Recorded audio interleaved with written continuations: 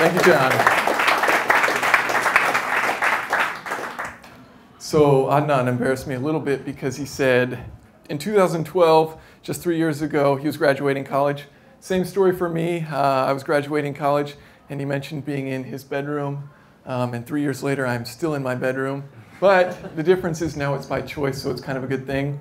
Uh, we'll go ahead and get started. Jason Fenske, uh, I created this channel called Engineering Explained, as John has introduced very kindly. Um, and I want to say thank you to Car Throttle for bringing me out to this um, and letting me talk at this. Um, so what we're going to be talking about is how I grew an audience of 400,000 subscribers on YouTube. Um, I'm just one person. I do everything myself.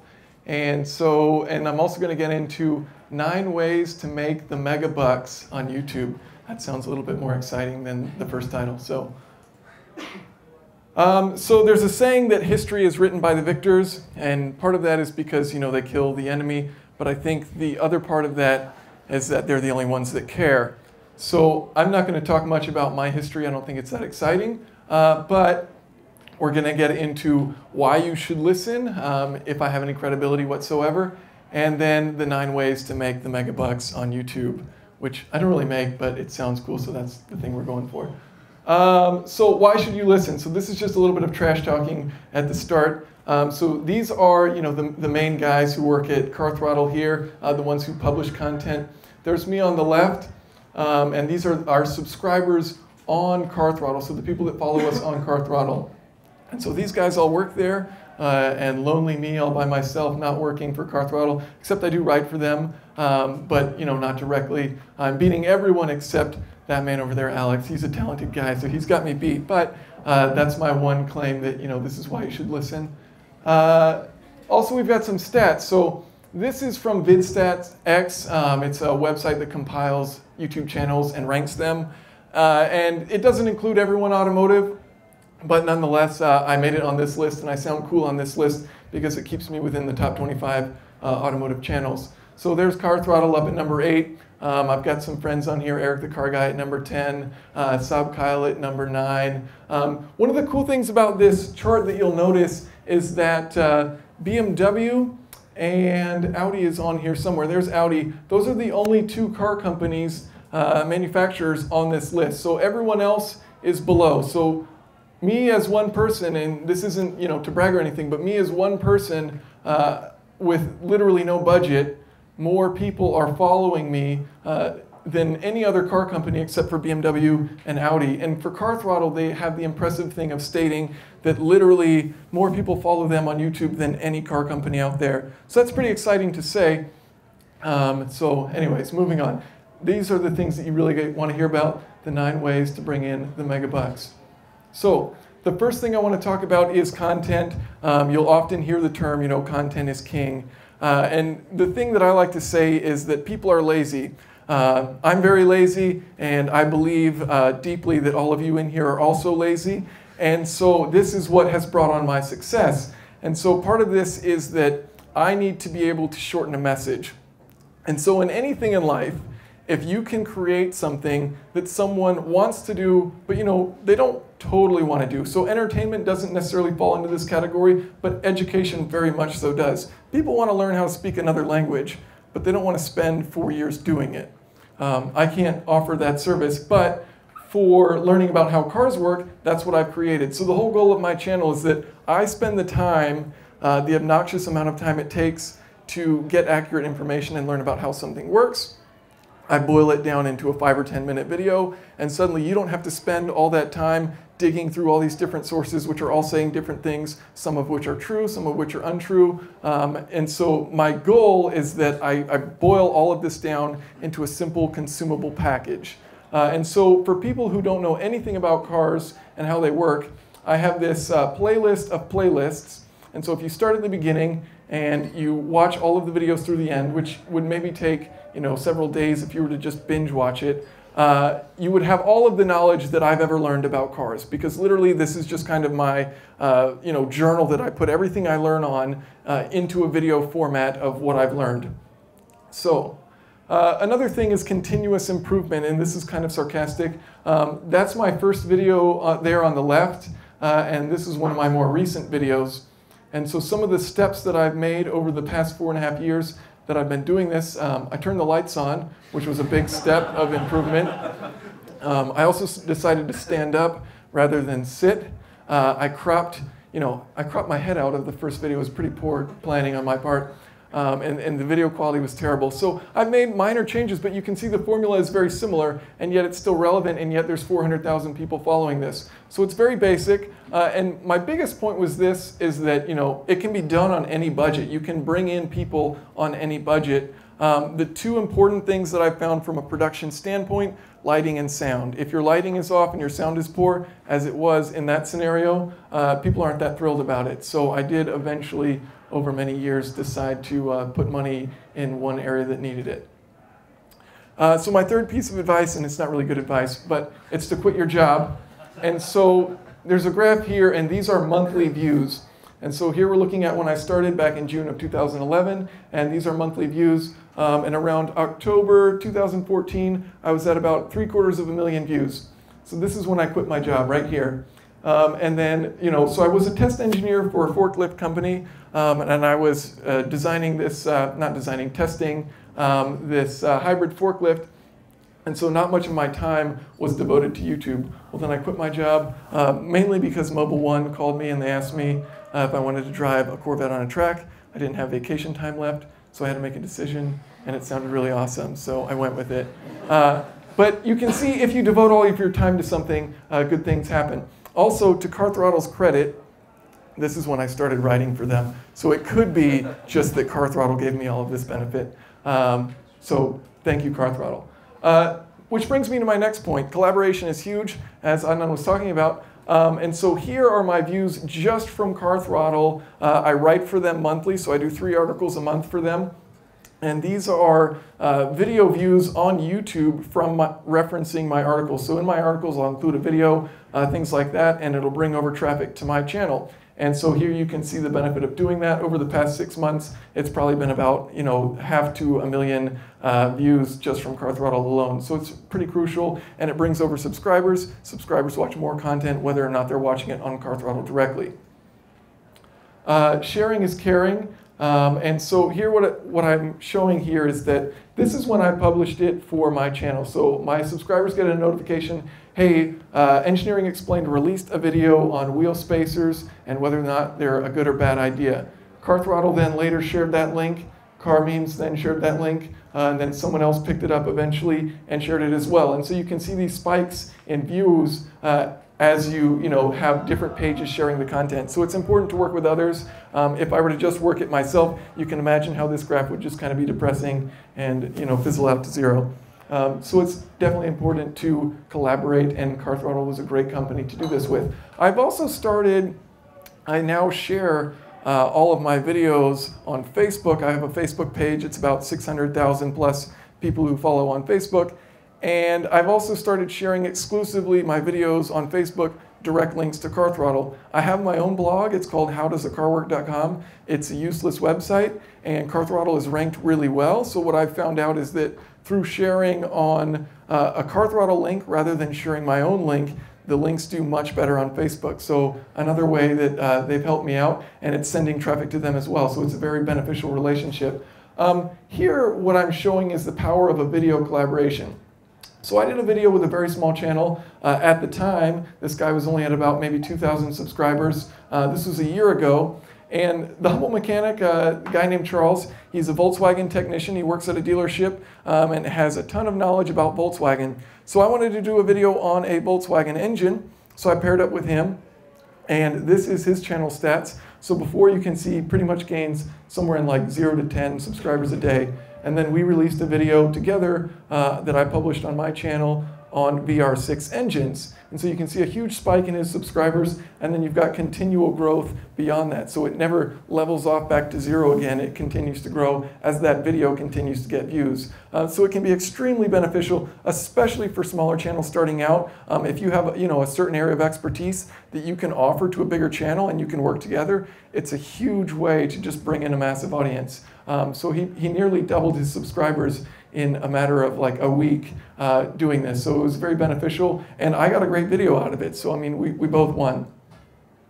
Uh, number five is building trust. And so no one's going to listen to me uh, if everything that I have to say uh, isn't factual because it's an educational channel. And that's not a matter of getting your information from a factual source. Uh, in my opinion, it's a matter of pre presenting this information in a way that you prove it or you bring it down to a universal truth.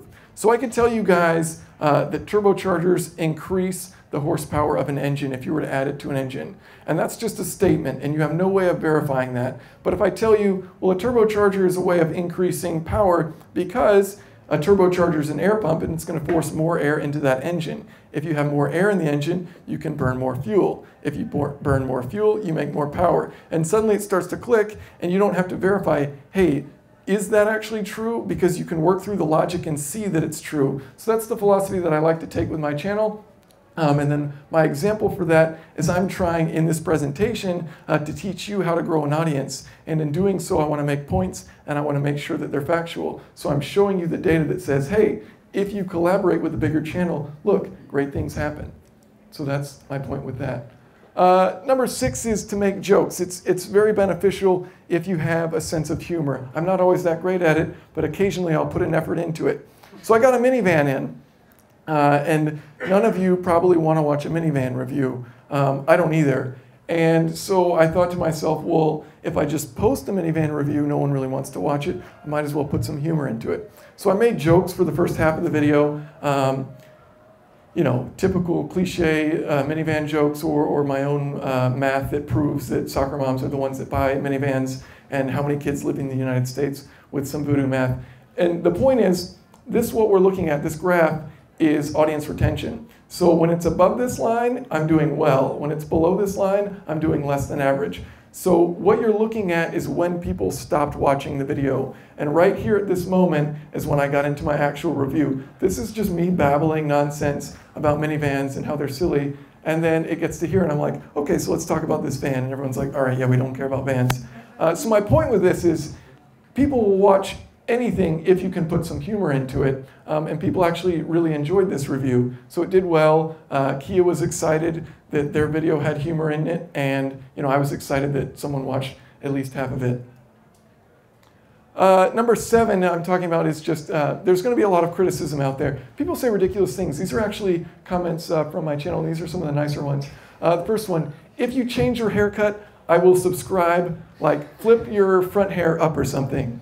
And that's like, you're watching a video on how a turbocharger works and you're thinking to yourself like, you know, I would watch more of this guy's videos, but the hair is just a little off. So uh, you have gray Trump hair, so I'm from the United States. Embarrassingly enough, I have to express that I am uh, not as, well, I'm associated with Donald Trump only because we live in the same country and that's uh, as far as it goes. But anyways, you have gray Trump hair, but the figure of a high school straight out of driver's ed. I don't really know what that figure is, but um, I'm okay with it. Uh, this guy looks like a fetus with the hair of a 2,000 year old man. I mean, it's, it's ridiculous the kind of feedback you get.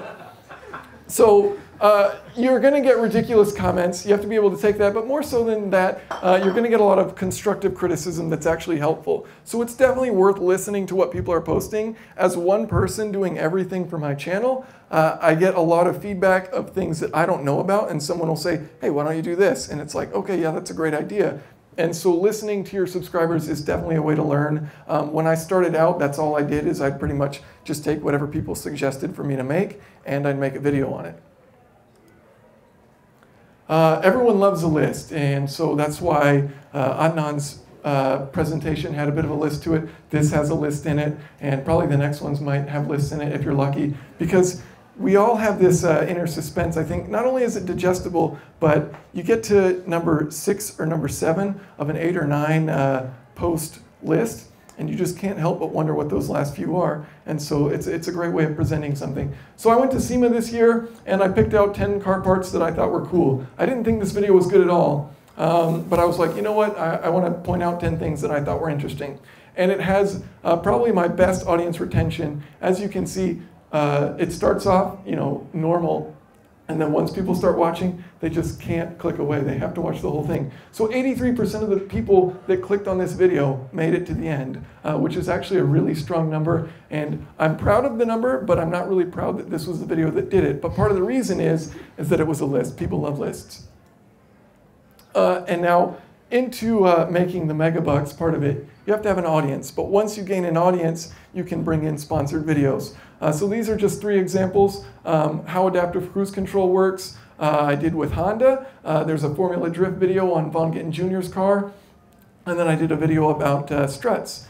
And the thing about sponsored videos that you really need to take into consideration is that we come kind of from this generation where everyone's willing to call you out immediately. So if you look like a sellout the second the video starts, like they're done, they're unsubscribing, and they're not watching your videos anymore. Like it's it's very simple to ruin your relationship with your subscribers with sponsored videos. So you have to stay very true to your original style. So what I always do with sponsored videos is I have two claims. Uh, this is an educational channel, so it has to be educational, and it's also an automotive channel, so it has to be automotive. If it's not automotive and it's not educational, it's not going to happen. So you have to kind of stick to that, otherwise you're just going to get barraged by uh, your followers and they're going to leave. Uh, and so these have all done well um, relative to what the goals were set and they, they've been received very well. That's the important part. People aren't mad that I got paid to make a video. Um, they're happy about it and they learn from it, so everyone wins. And so the question that everyone always asks about YouTube whenever they say, hey, what do you do? And it's like, ah, I make YouTube videos.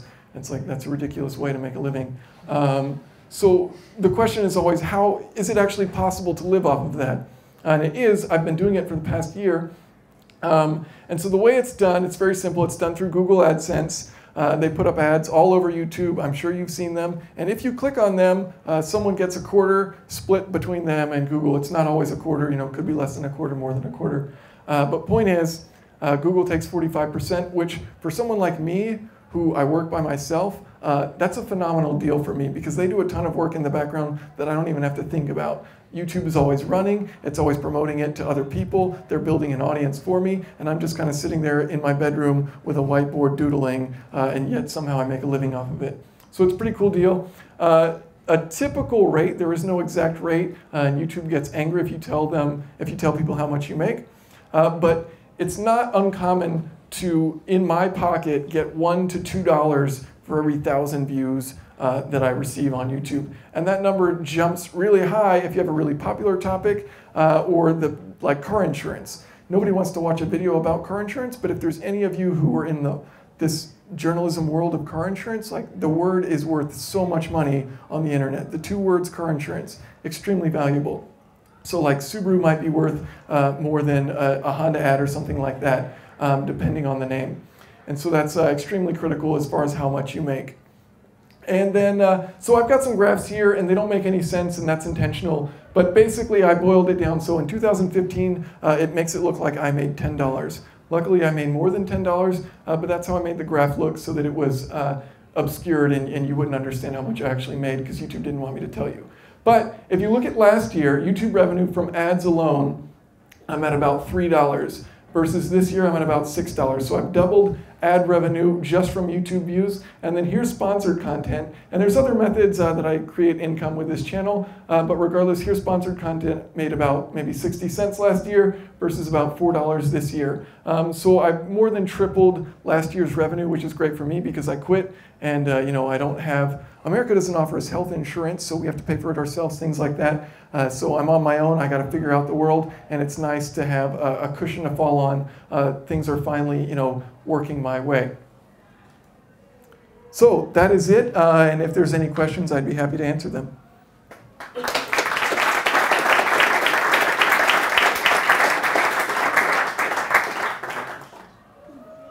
Sure. Do you ever find yourself struggling for things to, to do videos about? I mean, how do you come up with new ideas? Is it just a case of you being curious about specific parts of an engine? Or? Yeah, so the question is about uh, how do I come up with these video ideas and, and do I run out of ideas?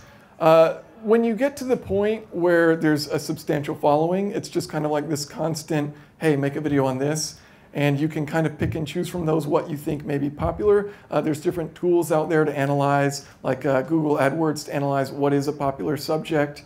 Um, most of it for me, I don't, I don't put excessive thought into it. It's whatever I find interesting, uh, and then I create the video on it. So it's not the best method. I think the best method would be to use Google AdWords. Uh, pretend that you're an advertiser and you want to advertise something. Go in there and use their keyword planner and say like, uh, you know, BMW i8 and type in BMW i8. And if it says a ton of people are advertising this word, then you're thinking, okay, that's great for me to make a video on. If there's not many people advertising that word and the word value isn't very high, it's like it's not going to be worth your time.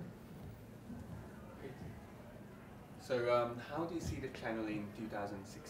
Are you still going to be doing these whiteboard reviews or are you going to kind of open up for like other opportunities like car reviews or live talks or anything else? Yeah, so how is this going to grow in 2016? That's a fantastic question.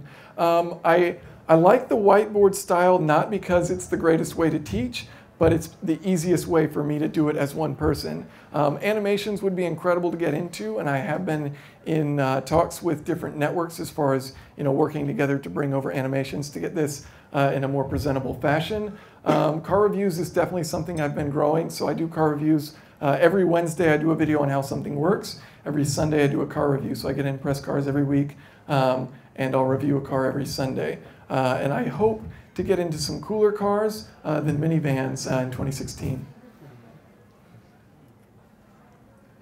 Yeah, we've got one there. Have you explored distribution on other platforms besides YouTube?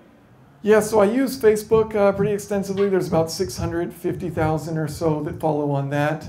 Um, the thing is, I am, as uh, this one channel, generating nearly all of my revenue through YouTube. So it's either a sponsored content on YouTube or ad revenue through YouTube. So for me, I like to draw traffic to YouTube.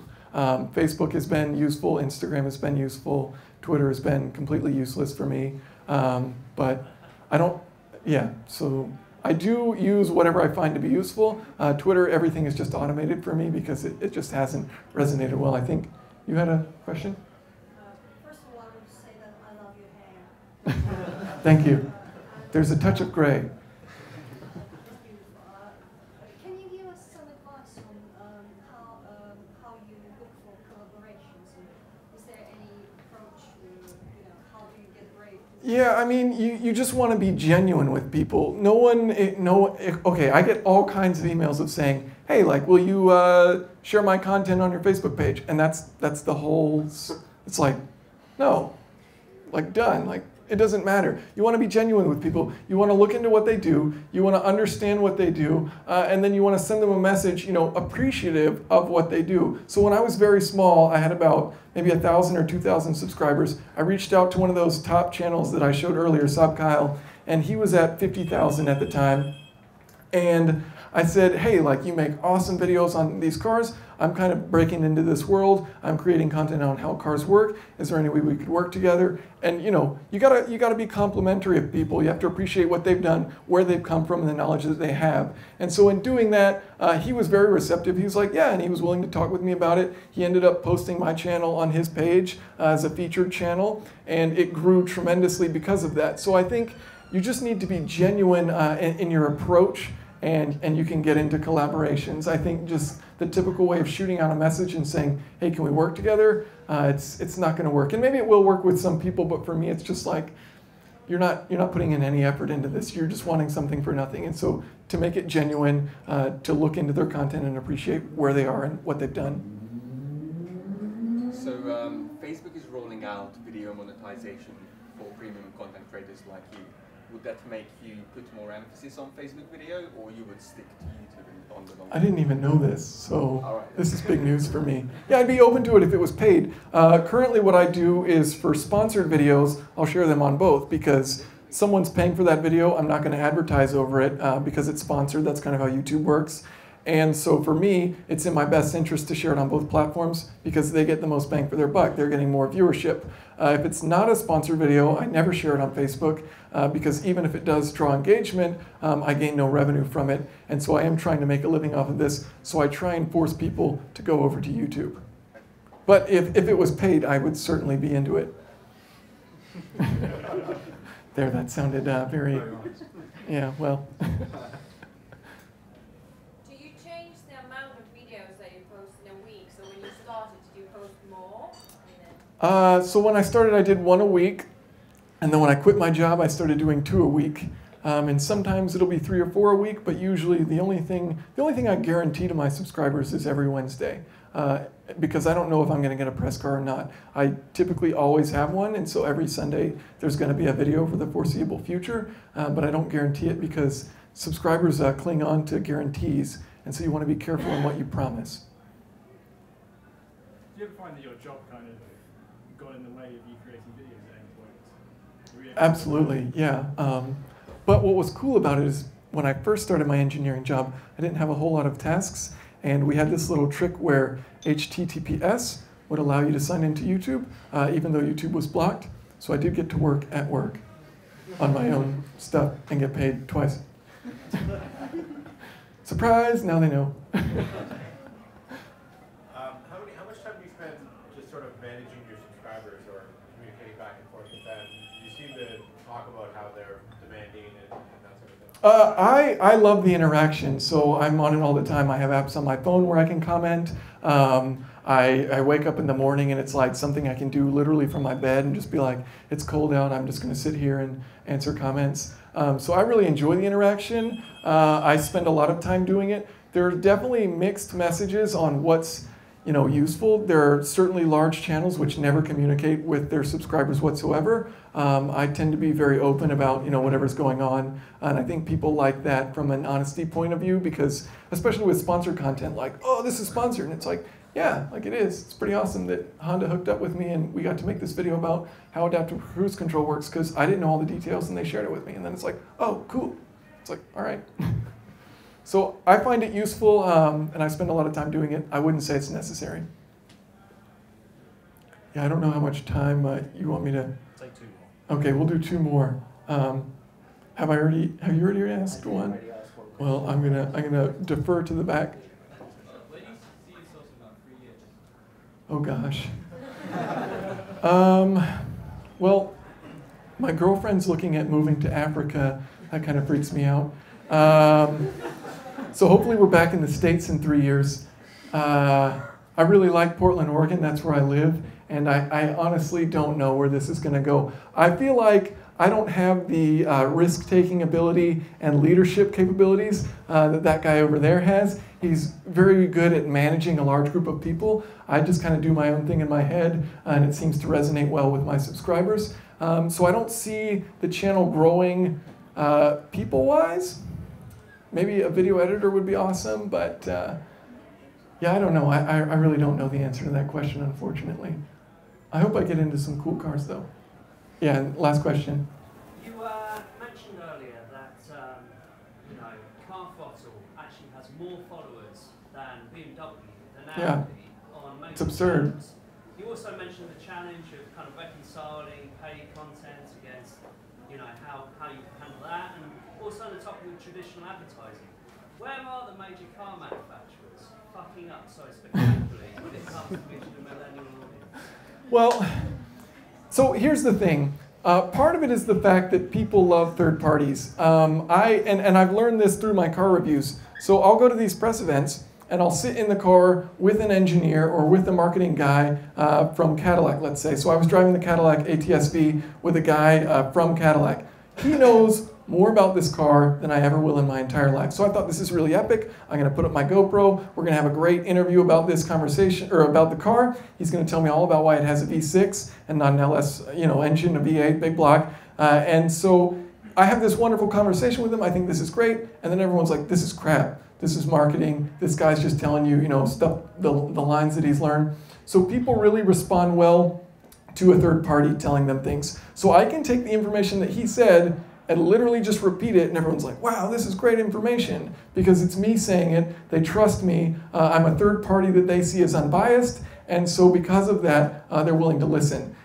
You have to make sure, I think, from a manufacturer's standpoint, that your message isn't just a marketing statement. People love proof. That was one of my points, um, you know, prove it. And so if you can show visually proof of one of your claims about your car, if you can boil it down to a universal truth, people absolutely love it. Um, so I think showing real world tests is something that would resonate really well in the automotive world that isn't really done by manufacturers at this point.